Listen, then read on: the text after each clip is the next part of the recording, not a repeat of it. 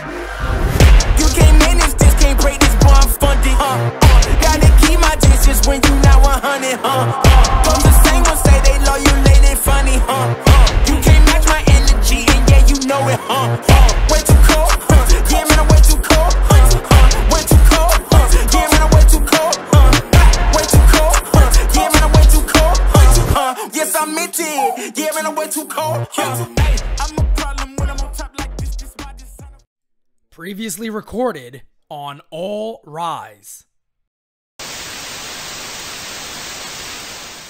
Michael Kay as a comment, uh, an announcer, a play-by-play guy, to me is one of the goats. I I look up to Michael Kay in that regard. I've told him that personally, face to face.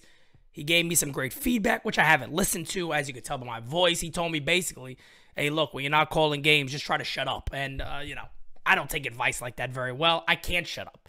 So again, I'm learning sign language just in case. But opinion wise, Michael Kay is fitting the bill that fans are giving him as a company man. He just is.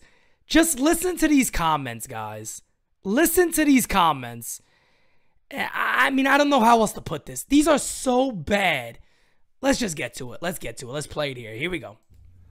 And we're in the middle of Domino's, brought to you by London Jewelers. Now, Anthony Volpe, uh, he has not hit his stride yet. He, he continues to get on via the walk, but he has not been pounding out base hits. He's made all the plays in the field, but he's when he comes up late in the game, they're chanting Volpe, Volpe, Volpe. so I think it's it's what we've talked about before. Homegrown Yankees get a longer leash, and not that not that anybody should be booing him anyway. Please don't interpret it that way.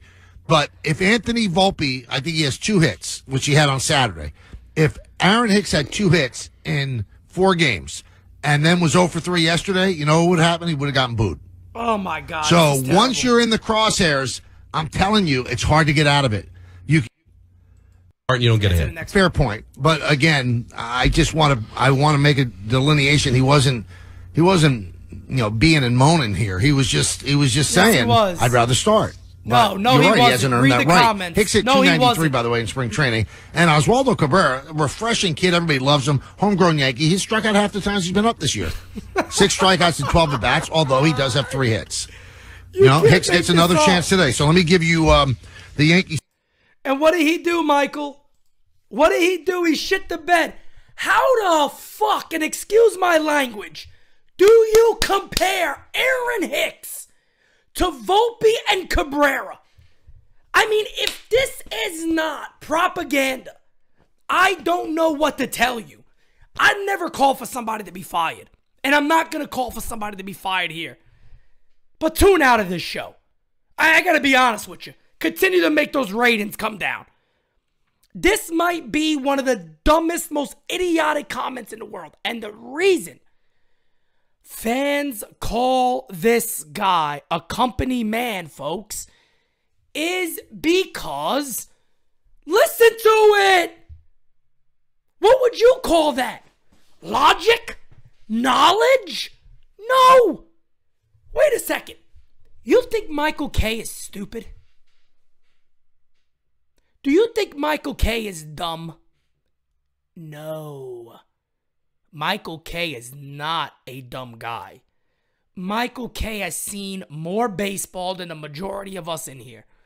Michael Kay, I will put my hand on fire and tell you Michael Kay knows his baseball.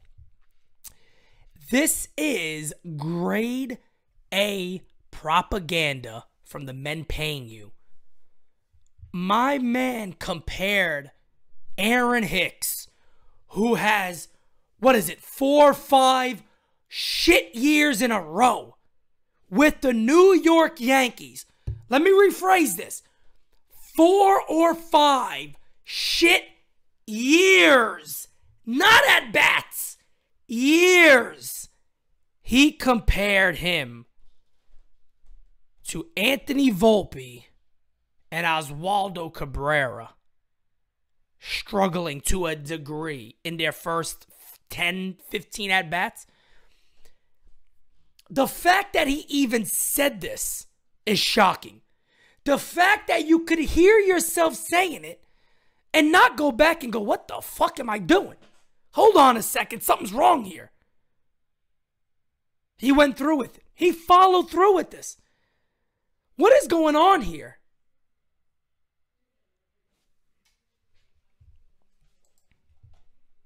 Get to the next voicemail.